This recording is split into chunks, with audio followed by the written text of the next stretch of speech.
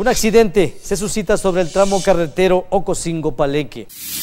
Con información e imágenes de Mario Nájera. Nuevamente, la imprudencia hace de las suyas. La mañana de este martes se suscitó un pequeño percance sobre la carretera internacional Ocosingo-Palenque a la altura de las gasolineras. Todo sucedió cuando un joven menor de edad no se percató de las luces direccionales que tenía un vehículo tipo estaquitas de la marca Nissan cuando este automóvil se dirigía a cargar combustible. El joven se impactó de manera lateral en la parte izquierda contra la camioneta cuando ésta se dirigía a su hogar en el ejido Patria Nueva. Al lugar de los hechos acudieron paramédicos de la Cruz Roja para brindar los primeros auxilios, llevándolo a la clínica para que fuera atendido, pues el joven presentaba múltiples lesiones en las piernas y en el rostro. Esta persona no tuvo precaución. En esta zona de la salida de Ocosingo tiene varias características de riesgo y es necesario que los responsables de vialidad coloquen más señalamientos en el lugar a fin de evitar más accidentes en lo sucesivo. No es el primero, llevan varios accidentes que han ocurrido en ese punto de la ciudad, sobre todo eh, porque pasan a muy alta velocidad.